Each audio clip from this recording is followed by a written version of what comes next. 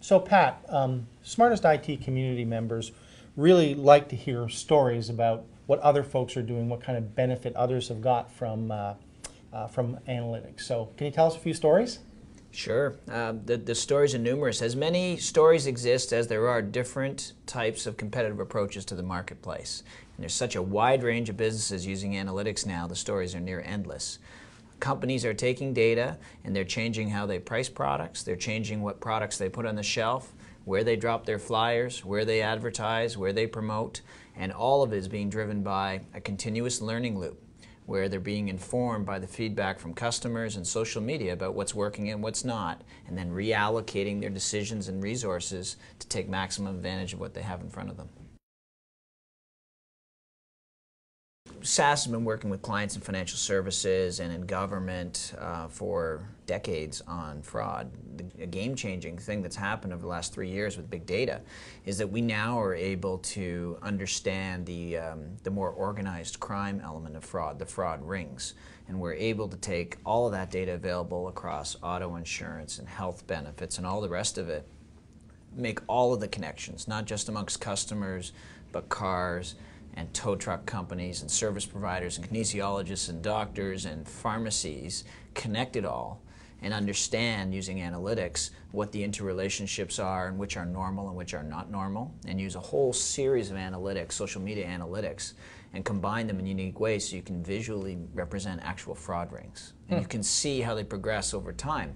And we're actually working with the business partners now to not only do it for an individual company, but to create consortiums across the industry so that rather than, it's kind of a co-opetition model.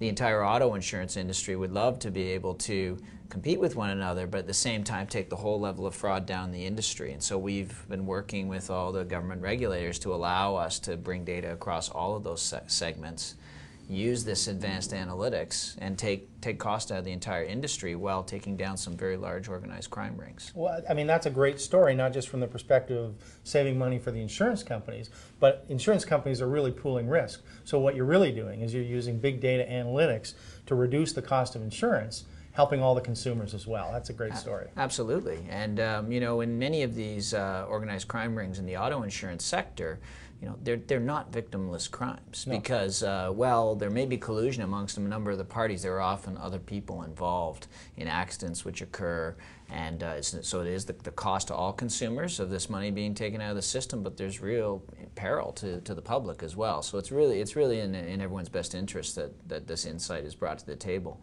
We're doing the same thing in uh, the credit issue space as well. There are, uh, there are huge amounts of, uh, of organized crime activity around um, defrauding or in the credit space as well. And so we're working in that, that area also. Another um, stepwise increase, I think, in the data explosion is just upon us now, and that's the whole advent of machine-to-machine -machine communication. And um, you know, many of us have read about uh, the smart grid, but it goes beyond uh, the smart grid and having people be intelligent about how they use and consume energy in the home. It also is allowing consumers to organize how the intelligent you know, equipment in their life interacts most right. effectively for them. So their home and their home entertainment system and their car and um, you know the food in their fridge and their energy consumption, all of those things are enabled to exchange data not just with the consumer but also with one another so that you can set up profiles and automatic triggers so that you can you know have your you know your materials organized in the way you in the way you want them to. So when you think about that, the richness of understanding of what the consumer does and when, it, um, it, it, affords great opportunities for businesses to you know, make new value propositions for the consumer. So your fridge can call up your computer and place your order with Grocery Gateway and uh, you can set up um, all of the inventory of things you want to consume and you can connect it to Groupon or anyone else and wait for the right deal and you know everyone might maybe might want something at the right price and you'll know when you need it and when the best deal could be. Fascinating stuff.